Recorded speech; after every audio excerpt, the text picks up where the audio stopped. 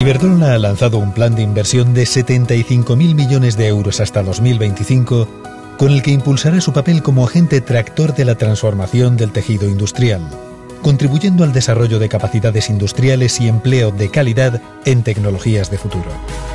Llevamos muchos años haciendo desarrollo tecnológico y desarrollando capacidades industriales que nos va a ayudar a implementar y a demostrar que es posible un futuro verde y sostenible como explica y como apunta Iberdrola en su plan estratégico. Un plan de inversiones que incide en la tradición de la compañía al impulsar la sostenibilidad y la innovación en el tejido industrial. Un plan como el anunciado por Iberdrola contribuye a generar confianza, multiplicar los proyectos de I+D+I Generar empleo cualificado en tecnologías clave permite mirar al futuro con ilusión. Una decisión valiente, oportuna y en línea con la estrategia de sostenibilidad de la cual Iberdrola es el referente internacional.